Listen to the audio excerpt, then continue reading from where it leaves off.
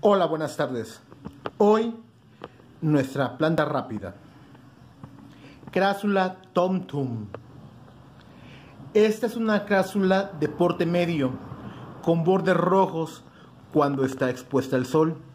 Es una híbrida de la crásula rupestri. Y bueno, su floración es un tipo de inflorescencia que crece en los ápices. ¿Qué quiere decir esto? Que crece en lo alto de la planta. Sus flores son pentámeras, es decir, con cinco pétalos, de color blanco. ¿Qué más podemos decir esta, a pesar de que está hermosa? Que su cultivo es muy sencillo y su reproducción muy fácil.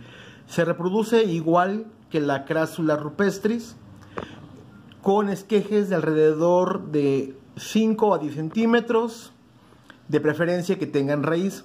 ¿Cuál es la diferencia entre esta y la crásula rupestris? Si alcanzan a ver la planta o ponen atención, la crásula, la rupestris no termina en triangulito, sino termina como en media luna. Esta termina en triangulito. Esa es la diferencia. Y bueno, ¿Para qué tipo de personas yo recomendaría esta planta? Esta planta la recomendaría para personas que apenas inician con su colección de suculentas. Esta planta no tolera temperaturas por debajo de los 4 grados centígrados en floración, pero en tiempo de reposo tolera muy bien las heladas. ¿Qué más les digo? Disculpen que desenfoque un poco, pero por el tamaño de la planta no puedo enfocar muy bien.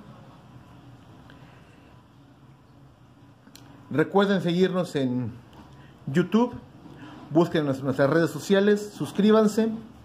Gracias.